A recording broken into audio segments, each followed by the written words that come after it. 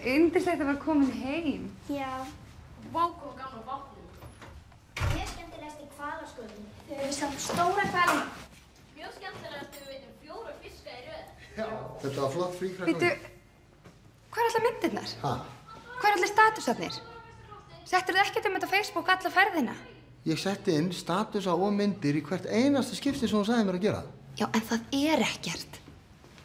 Sjáðu, Er ekkert. Átni, það eru engar myndir og engir statusar frá því áður en við fórum í fríið. Já, sko, ég kann ekkert á þennan nýja síma hérna. Ég hef eitthvað klúrað þessu. Mamma, hvernig það að borða?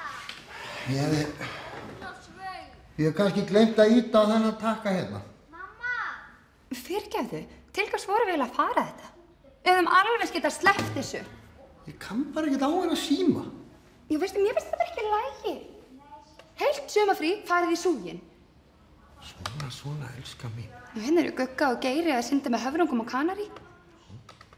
Og Ástrós og fjölskylda hérna í þyrluflugi í Las Vegas. Og hvað erum við? Við erum ekki til.